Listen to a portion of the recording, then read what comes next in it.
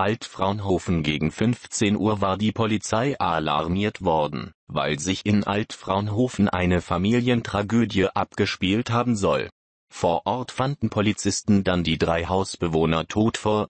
Alle drei Erwachsenen wiesen Schussverletzungen auf. Über den genauen Tatablauf und die Hintergründe der Tat liegen noch keine gesicherten Erkenntnisse vor. Erste Hinweise deuten auf ein innerfamiliäres Motiv HIN, so die Polizei in einer Pressemitteilung. Nach Wochenblatt-Informationen handelt es sich bei den Toten um einen Familienvater, seine Frau und seine Tochter.